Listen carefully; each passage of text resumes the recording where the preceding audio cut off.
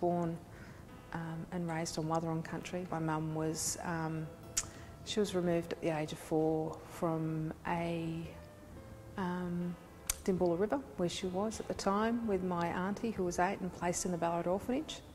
So she was raised in the orphanage in Ballarat. You know, I did a range of different sports uh, growing up, the likes of netball, softball, and um, decided at a reasonably early age to, to focus on track and field. One of the, the special experiences that I had was competing at Stawell. Um, and being in the final, I really, really wanted the opportunity to, to win it, but it didn't happen. I ended up placing fourth, I think it was. But it was special because my great uncle was the first Aboriginal man to win the Stawell gift, and at that stage, um, he wasn't acknowledged as the winner, uh, Uncle Robert Kinnear. Um, so that was competing in a space which had such history. Yeah, I love sport and it's given me all of the pathways that I've been able to create through work, but more importantly, it's given me the characteristics and the learnings about what I need to do to get the best out of myself. I studied to be a teacher.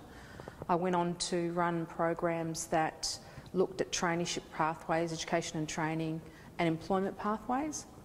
Um, after working um, with an organisation, a sister organisation of the AFL, AFL Sports Ready for five years, it was, I guess, it was an opportunity to build um, a facility or a, an institute that had a unique and a, a unique range of opportunities for young people or for Aboriginal people generally.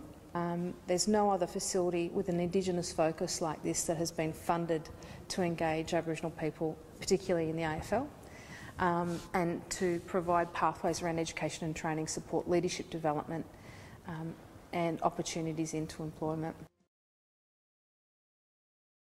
There's, there's two ways to look at leadership, I think. One is um, in the historical sense of, of what leadership can be, and that's one person out the front leading the charge, and then there's leadership from a range of different ways of, you know, from a cultural perspective, it's quite different for Aboriginal people. Um, in getting behind our mob and supporting them to um, take the direction they really want to go as well. People follow leaders because they believe in them um, or they have the same shared values. And, you know, I still, I still think it's, uh, it's odd to be called a leader. I hope that what I can leave is a reminder for people that how beautiful our culture is. And for non-Aboriginal people, I'd really love them to, I guess, describe me as somebody that made them think differently, made them think differently about our people.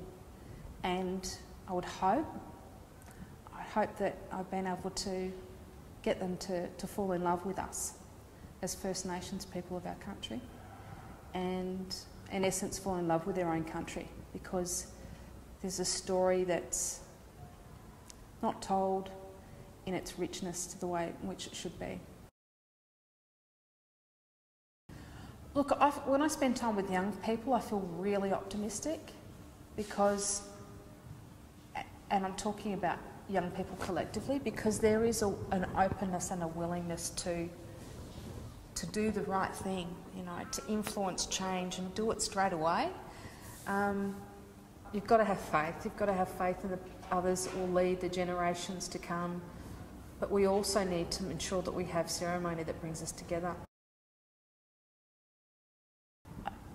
I think what the fellowship has done is provided me with an opportunity to spend time with other Aboriginal leaders.